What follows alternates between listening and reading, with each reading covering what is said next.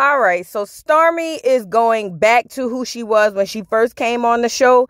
And Stormi, this fake ghetto mess, I don't like it. Is y'all ready to talk about it? Cue the music. Oh yes, bitches and hoes. I'm back. I drop a player like it's nothing, it ain't working out. Now no debate or fuck discussion, bitch, I'm walking out. I'm walking My time is money, I ain't loving, let you toast it out. Flip my weave and walk it out. Look how I just boast it out. Now come on, baby, why you bugging? We can't talk it out. I keeps it moving, I ain't tripping, lost another spouse. I'm just a boss, it's in my blood, no, I won't scream or shout. Grabbing my keys. What's up, y'all? It's your girl Voodoo Doll TV back with another review, and this is Love and Marriage Huntsville season six, episode twenty-seven, I believe it is.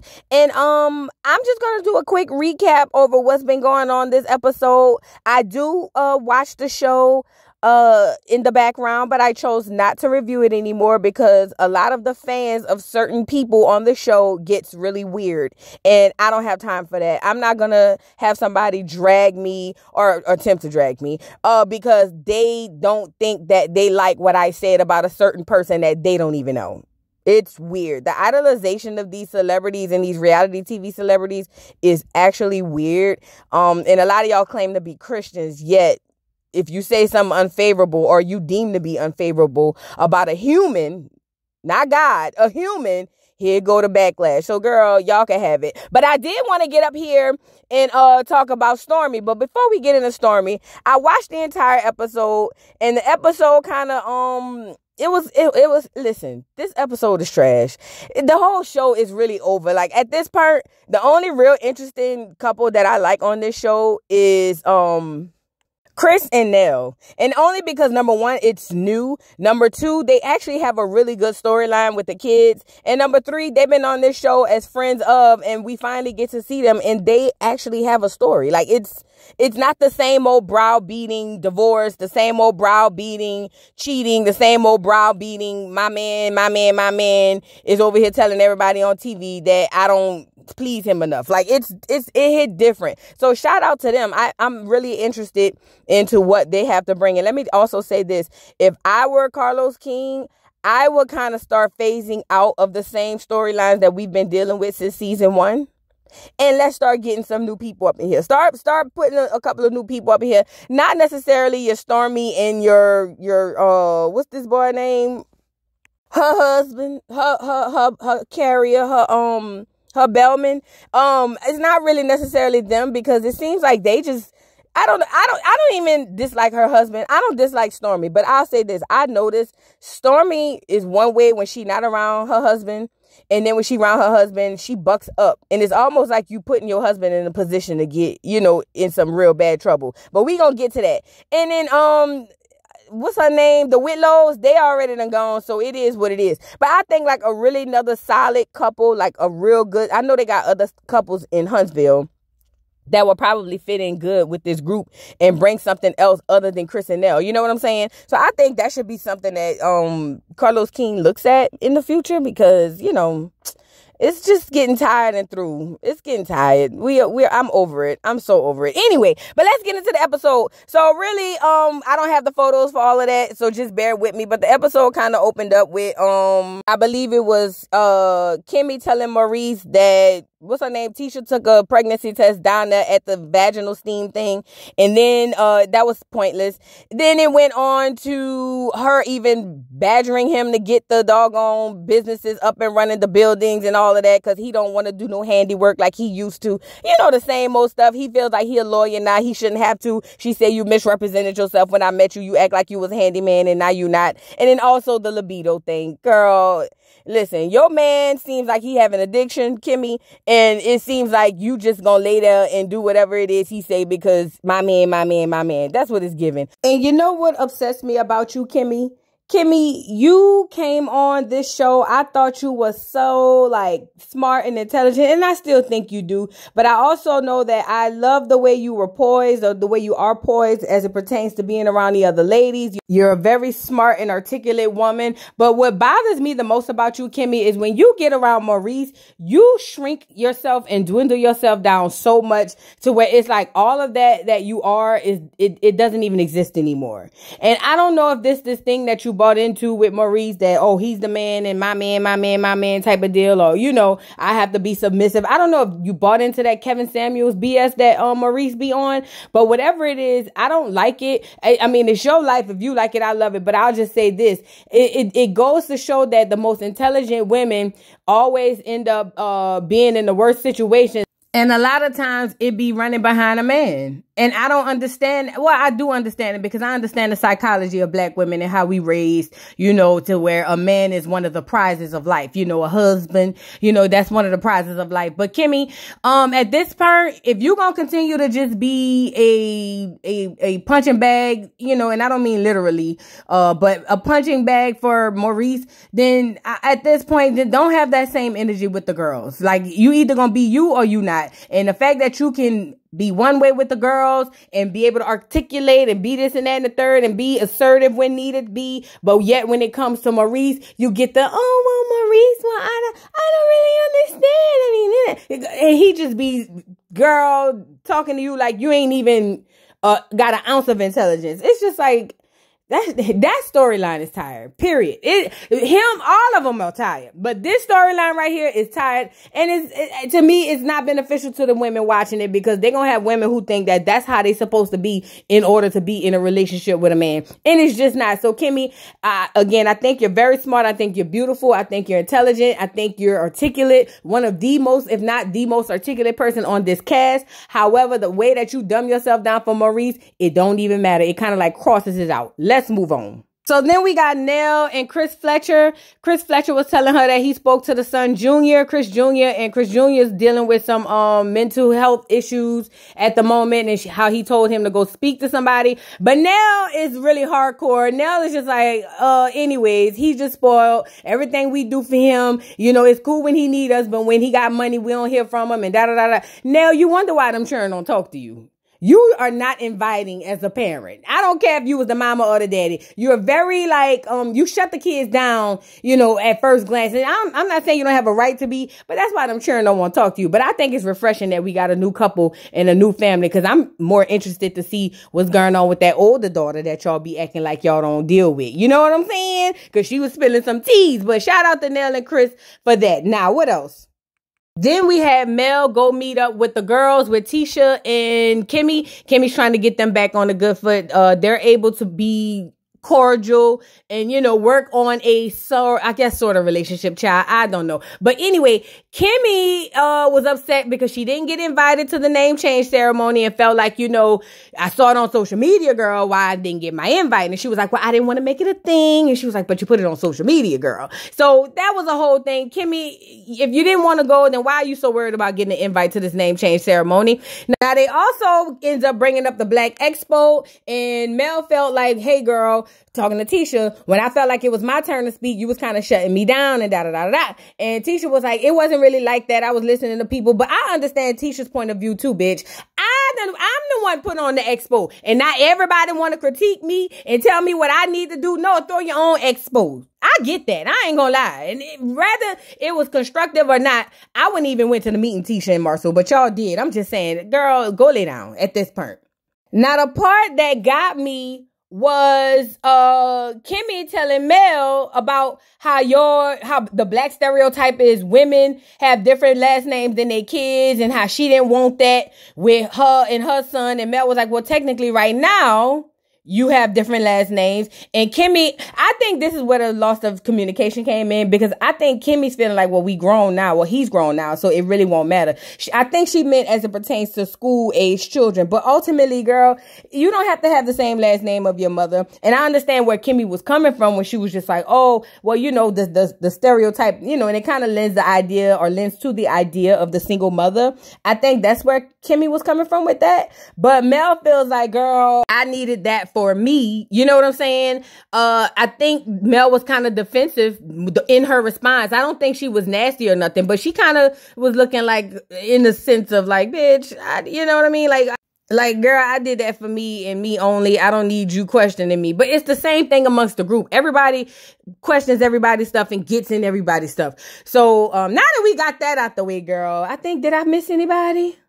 I don't think I missed anybody. It don't matter. Let's get into this content where I really want to talk about Stormi and her husband, her her carrier, her um, what do you call it? Her her her her bellman, Courtney. Get Stormi up here. Not Stormi. Stormi goes meet up with Tisha the first time because she's ready to move forward and she can bury the hatchet. Now, when she gets over there, she asks Tisha about everything how everything going with the little smooth talking. Then she goes right into, well, hey girl, did you know that I'm getting backlash behind the shipping labels and stuff? I'm getting people dragging me because your team messed up the shipping labels. Now let me just say this. Um, the fact that Tisha could sit up there and look that girl straight in her face and be like, it ain't, it don't look bad on me. It really don't have nothing to do with me. It's pure asinine. Girl, when you own a company, everything good, bad, or indifferent falls on you. Period, point blank. It, I don't care who you paid, whoever you paid, even if you didn't proofread the instructions and everything and go over everything, you could have paid somebody else to do so, but you didn't. So you dropped the ball. I know the person who did it, the one who literally dropped the ball, if that's true. But girl, you dropped the ball. Now on the flip side, I'm not apologizing to no goddamn Stormi. Stormi could kiss my ass. I'm not, uh, see, Stormi's very entitled. Oh, well, I feel like you should apologize. You don't think you owe me an apology? No, bitch. No. The fuck? And it wasn't even the fact that she felt like she needed an apology. It was the way she did it. Stormi got this nice, nasty way about her that I really don't like, you know. And she she is nice, nasty when she not around Courtney. But when she get around Courtney, it's rah, rah, rah, hood, hood, what's up, what's up? You know how she do. Girl, anyway. So she invites uh Tisha to uh double date. Her, Maurice, after she done called this man a bitch, I'm still confused as to how um, what's her name? Tisha could even be in the same room with this girl. Girl, I wish, I wish she would have called my husband. Girl, uh, in front of me, I'm there. Even if he came back and told me, girl. But anyway, she invite them to a double date, so they're gonna meet them out to go play pool. Let's get to it. Now it's time for the double date. First and foremost, uh, Tisha and and Maurice is an hour and a half late. Very, very, very extremely disrespectful totally disrespectful. Um, I believe that that's the worst thing you could do to somebody is play with their time like that. It's one thing to be 15 minutes late. Hey girl, I'm running a little behind 20 minutes, but an hour and a half. Courtney and Tisha, y'all, not Courtney and Tisha, girl. Courtney and, um, and Stormi, y'all better than me. There's no way I would have waited no hour and a half for no daggone Tisha and Marsau. But anyway, they comes in and as you can see, this is the disposition, you know, cause Courtney, not Courtney, damn, why I keep calling her Courtney. Stormi is on 10. Stormi ready to roll. Stormi ready to roll. She got it on her mind. I don't know if it's because they was late or whatever it was, but they come in and Stormi already has it on her mind. Now, this is where it, to me, it goes left. Stormi get to bringing up the fact that she called Marsau a bitch.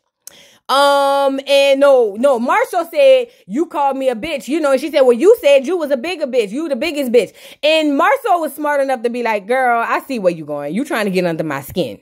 And then she said, but I didn't appreciate you calling me Mr. and Mrs. Steele. And it, it didn't dawn on me till it dawned on me. If if Courtney is a, I forget what his last name. His Courtney, his last name starts with a B, but Stormi starts with a, our last name is Steele. I'm sorry. What he was saying inadvertently was Courtney is the man of the relationship. She wears the pants. She the breadwinner. And I get that. Because that's the guy that is true. Courtney is a helper.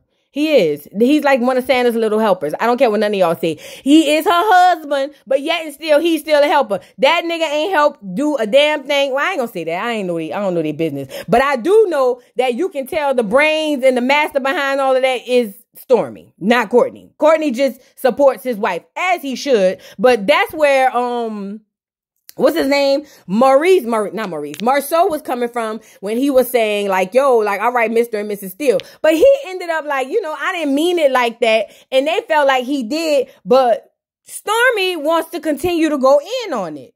So much so to where basically she told Marsau, I'm not gonna call you a bitch no more since I know my boundaries. I'm sitting here saying, as a woman, you know, no man wants to be called a bitch.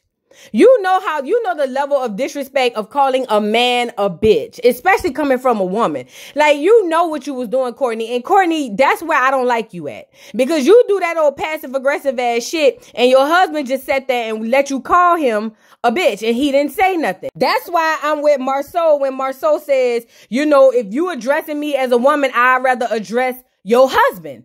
And she said, well, why you couldn't address me? I'm, I'm, I'm a woman, yeah, but you could have addressed me. Why would you want a man to address you? When he came and confronted you about the doggone money at the expo, you went home and told your husband, and your husband told you no man should be addressing you. He need to be addressing another man. But in this situation, because you want to get a rise out of Marsau, you was over there hiding, well, you could address me. No. If your husband is present and allowing you to be disrespectful toward him, then he has every right to address your husband. And then furthermore, Tisha jumps in and was like, I thought we was done with this whole bitch conversation. Why are we still talking about it? But my question is, Tisha, why are you allowing it? Why haven't you responded? I ain't gonna say how, but why haven't you responded? And then Stormi tells her, well, because y'all know what y'all be doing, or something to the effect of that's why um what's her name? Kiki splash that drink that drink in your face because y'all know what y'all be doing. Y'all be ignoring people. What? Are you kidding me? Are you kidding me? Bad enough you tried to get her to be back cool with Kiki when you went to go see her earlier and she told you she's done with Kiki. Now you, Stormi got mad at Tisha because Tisha says, I know my cousin and her behavior is indicative of a person who's probably still using. She said, now I can't say I seen it, but I know my cousin and my cousin is probably still using. Stormi get her ass in the confessional. You don't know Kiki from a hole in the wall. And you're going to get up there and say, I don't think it's right to be accusing people of doing drugs. Well, she's an addict. And Tisha know her better than you. But that's not the here nor there. You want to say that it was okay for that girl to throw a drink in Tisha's face because she ignored her? Y'all, I don't know how Stormi. I ain't gonna lie, I thought Destiny was gonna mop her. I ain't gonna lie, I thought Destiny was gonna mop her because Stormi does too much. And Tisha, you allow this. Like, how Maybe you just have the patience of Joe, bitch. I don't know, cause ain't no way I'd be sitting across from a bitch who called my husband no no bitch. Period. Now Tisha got in a confessional was like, I'm realizing that, you know, Stormi don't really want to move forward. She just have an issue with me. Duh. Hello. How are you just figuring this out? She had an issue with every single thing you do. Duh, Tisha. See, that's why I be telling y'all, education don't make you smart. I don't understand how it took this long for her to figure this out. The girl called your husband a bitch. What are you talking about? What are we talking about here? I'm confused. Girl, it, it shouldn't have took you that long to figure this part out, Tisha. Get off of here. Now, as it pertains to Courtney allowing his wife to be very disrespectful, at the end of the day, Courtney, your wife gonna get you popped in the mouth or somebody gonna pop her in her mouth. And you can tell she hasn't been popped in her mouth by the way she running around acting on this doggone episode or on this uh this this this network. Because you cannot go around totally disrespecting people. Now I don't condone violence, but I believe sometimes it's necessary. And you cannot expect that people are gonna be able to use their words every time you use yours. So you called that man a bitch. Your husband sat there and allowed it. If you ask me, he looked like a big ass teddy bear. Look like he won't hurt a fly. Look like he's softer than a box of Charmin tissue. If you ask me, you know what I'm saying? But ultimately you want to sit up there and disrespect Marsau, and I'm not helping up on Marsau. I'm just calling it what it is. You disrespected that man, called him a bitch. You disrespecting his wife, and you, you, your mouth is off the chain, and you act like nobody can't check you or tell you nothing. And Marsau's being very nice about it because any other man would have turned up on your ass for calling him a bitch, and then women would have been like, "Oh, he wrong for turning up." No, she's wrong for disrespecting him off the cuff. Period. And when you went home and told your husband that you called him a bitch, oh no, my bad, he was there. When he saw that you called him a bitch, he should have pulled you aside and been like, babe, chill. Don't do that. Because as a man, he understands how bad that is for a woman or for anybody to call a grown ass man a bitch. Rather you feel like that or you think that, tell that, talk to that in pillow talking. You don't tell that to nobody face stormi, period. So now when Marsau wants to flip the switch or flip the script on your ass and basically be like, oh, I see what she doing. I'm about to kill her with kindness type of shit and, and kind of give it back to her. This is, uh, what's her name? Stormi. Now you got to go. Now you got to go. You do have to go off the show. Bye, Stormy. Stormi, it's so crazy because when you came on, you came on as Mel's friend who had the nice house and very successful black woman, and you still is that. But you have a problem. Now you can't talk. Now it's time to go. Oh, go ahead, Courtney. I got something important to take care of. Girl, I don't know. This show is tired, y'all. throw the whole show away at this point. This this show is tired. Throw the whole go to a new city or something. Scrap these people and get all new people. Mel and Martell is divorced. Fine. Kimmy ain't gonna never stand up to Maurice. Fine. Tisha's gonna allow her husband to sleep with every woman in uh, Huntsville. Fine. What else is there to talk about now? Let it go. Mar- uh, Carlos King, let it go, Fat. Let it go, Fat. Don't worry about it. It's over. Let it go. Either start with Chris and Nell and build some more people around them and let these other people be coming on as friends of the show, or just scrap the whole show at this point. There's nothing else to say about that. Just scrap the whole show. It's done. It's over with. We tired of seeing the same old shit. We over it. Y'all drop down in the comments and let me know what y'all think about this crap, girl. Um, Stormi, you you you you trading on thin ice, fat, and you need to tread light, cause so, another man ain't gonna be as nice as Marshall. That's all I'm saying. But anyway, drop down in the comments. Don't forget to like, subscribe, hit the notification bell, follow me on all platforms. I'll see y'all who's later. Bye, Mr. Carroll. How you give the voodoo doll time to talk? I don't get no fucking time to talk. Who the voodoo doll is? The nigga you just had up here.